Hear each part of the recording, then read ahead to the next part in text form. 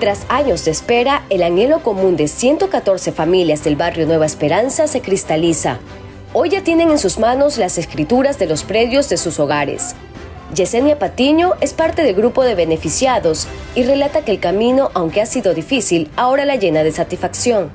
Darle un patrimonio a mis hijos, saber que mañana nadie me lo va a sacar de su casa y que si algún día ya no estoy, tienen un techo donde ellos puedan vivir seguros.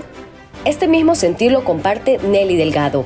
La mantense ha dedicado 30 de sus 66 años a la búsqueda incansable de su título de propiedad.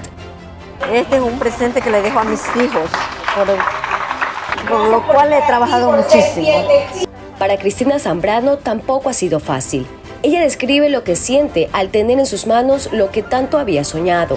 Es una felicidad enorme, esto merece ser celebrado por todo lo alto porque ya es un sueño hecho realidad. Tantas trabas que tuvimos.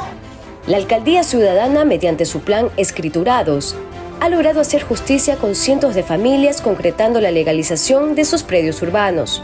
Procesos que se encontraban rezagados hace años y que impedían que se formalice el estado legal de sus patrimonios.